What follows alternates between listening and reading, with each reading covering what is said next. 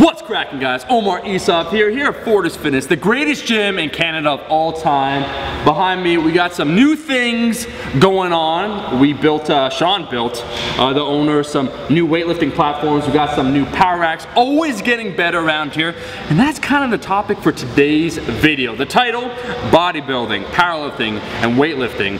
There is more than meets the eye, like Transformers, right? There's far more commonalities between bodybuilding, powerlifting, and weightlifting than a lot lot of people think. I think it's a common misconception uh, that if someone squats or even if they deadlift or perhaps if they bench press that they're doing it purely for powerlifting. If you want to get bigger, you should be doing the bench press. You should be squatting. If you want to get better at weightlifting, you need to be squatting. There are far more commonalities. So the question that I've received a lot since I announced, you know, I'm getting into weightlifting, I'm going full potato into it. Uh, how am I going to uh, keep up the bodybuilding? Uh, am I going to get weaker? A lot of different questions. And the answer is this. I'm not gonna be getting weaker. Maybe the bench press a little bit because I'm not bench pressing as frequently, maybe one time a week. But once again, I feel like I'll be able to maintain my bench press strength.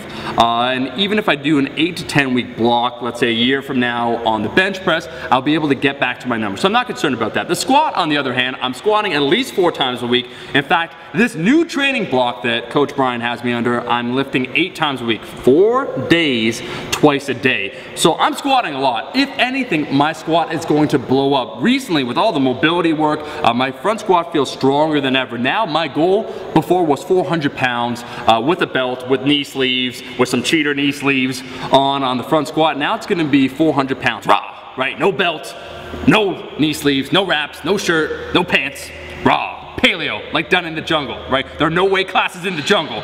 Uh, but what I was gonna say is that my squat has definitely improved. The deadlift, because also you're pulling from the ground. Yes, weightlifting when it comes to the pull, as uh, the deadlift is called, it is different than the conventional deadlift. But once again, there's a lot of commonality. And the idea of explosiveness in weightlifting is carrying over. My problem when it came to the deadlift was always breaking the floor, which is kind of interesting because normally you see that more in sumo, but that's my issue. Already from all the mobility work, getting in that comfortable position, making it feel uh, easier to get into, and all the explosive work. The bottom position where I was weakened feels stronger. So when I say there's more commonality than people think, I really, really, really mean it, right? I'm not gonna be getting any weaker when it comes to the big movements. The same idea when people ask me, oh, well, what about aesthetics, right? And the answer is this, on my off days, I'm gonna be doing a whole lot of bodybuilding stuff, right? My biceps, my triceps, the chest, the back, the delts, not the calves, but everything else. And when I say, hey, we look, there's a lot of similarities here. Just to name a couple examples when it comes to weightlifting. Klokov, one of the best current weightlifters. Right now he's retired, but he just did a bodybuilding show. Chinese weightlifters, they do a lot of bodybuilding movements, right, as part of the program for weightlifting. And when it comes to powerlifting, we know the exact same thing. If you want to get stronger, having a bigger muscle certainly helps. So more similarities than there are differences. I think only on the internet we focus on the differences, right? We have these social identities like, oh man, I'm a powerlifter, now he's a weightlifter, fuck that. Or like, he's a bodybuilder, oh that's stupid, they're stepping on stage. I think really when it comes to the gym, when it comes to people training, when it comes to the evolution of your own training, when you look at the uh, lifetime goals that you have, there's far more similarities. And I will say, I want everybody to post in the comment section below how old you are and where you see yourself in your, you know, your fitness goals five to 10 years from now. Because if you identify yourself, a lot of people, maybe they identify themselves as powerlifters, ask yourself, where are you, what are you gonna be doing in five to 10 years, right? You uh, deadlift 600 pounds, then you're gonna be deadlifting 700 pounds. Is that what you're gonna be doing for the rest of your life, or do you have more goals? My goal when I uh, started this channel, if you look at the first videos, they actually were on like sprinting or like athletics or things of that nature. Um, Um, my goal was always athletic aesthetic, right? To have the aesthetics of bodybuilding, to look good naked, right? To have that base general strength, let's say powerlifting, right? To lift some heavy shit, to be able to bench 350, and also weightlifting, explosive strength, right? Athleticism, being able to do something with that body, to run fast, to jump high, to lift some weight over my head, and snatch a whole lot. So athletic aesthetic was always my goal, and I think you can combine all those. And when people say I want examples, I just name the Chinese weightlifting team that's really strong, really aesthetic, and they also are into weightlifting. Uh, Klokov. Also, if you look on YouTube alone, I'm gonna shout out Clarence Kennedy, long time coming, a good Irish lad.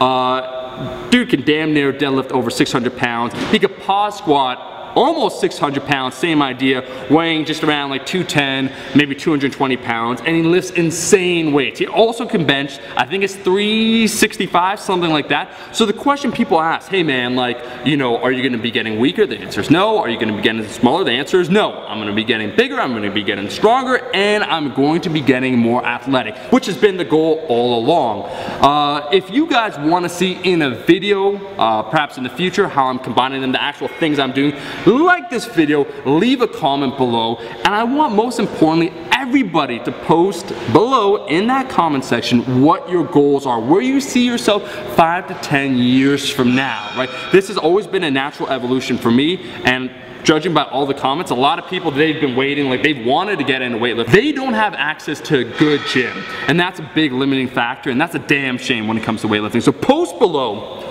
Guys, that is the video, bodybuilding, powerlifting, weightlifting, combining them, noticing similarities, noticing there's more than meets the eye. I'm going full potato into weightlifting. I look forward to the future. I look forward to all the content. Thank you so much for watching this video. If you like the damn video, make sure to like the video, and I'll be seeing all you guys, my rascals, in that next video. Peace! got at Fortis Fitness, we're always improving. Let me show you, let me take you on a tour here because I want you, yes you, you watching this video right now to join this gym. This gym, this very instant.